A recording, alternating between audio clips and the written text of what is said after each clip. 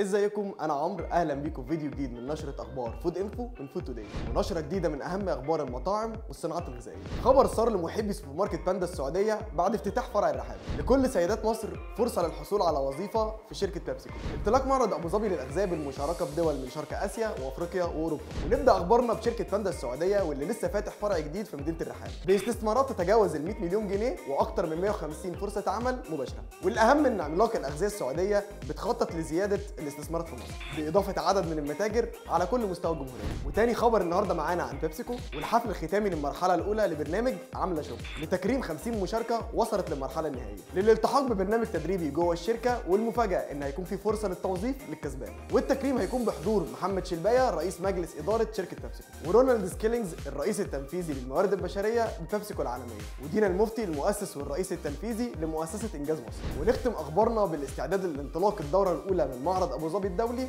للأغذية واللي هيكون في فترة من 6 إلى 8 ديسمبر 2022 واللي هيكون في مركز أبو ظبي الوطني للمعارض. ومن المتوقع إن يشهد المعرض اللي بتنظمه شركة أدنك بالتعاون مع هيئة أبو ظبي للزراعة والسلامه الغذائية. ومشاركة دول زي تركيا والهند والبرازيل وإيران والمغرب وجنوب أفريقيا وبلغاريا وكندا. ودول تانية كتيرة زي بولندا وإيطاليا وتايلاند وبيلاروسيا ولبنان ونيوزيلندا. وبكده تكون خلصت نشرة أخبار Food Info من Food Today كان معاكم عمرو وما تنسوش ميك افري داي فود توداي